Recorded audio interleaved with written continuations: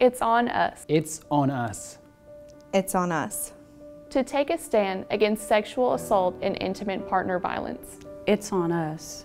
To create an environment where sexual assault and intimate partner violence. is unacceptable. It's on us. to hold ourselves and each other accountable. for our words and our actions. It's on us. All of us have a role to play.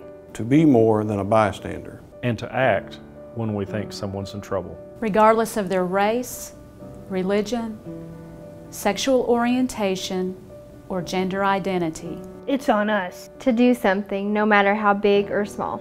It's on us. To look out for each other.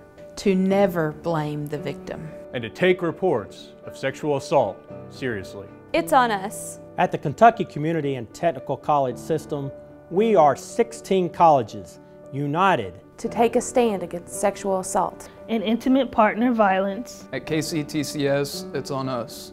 all of us, to be part of the solution, not part of the problem. Make the pledge. Take the training. and learn how you can be part of the solution.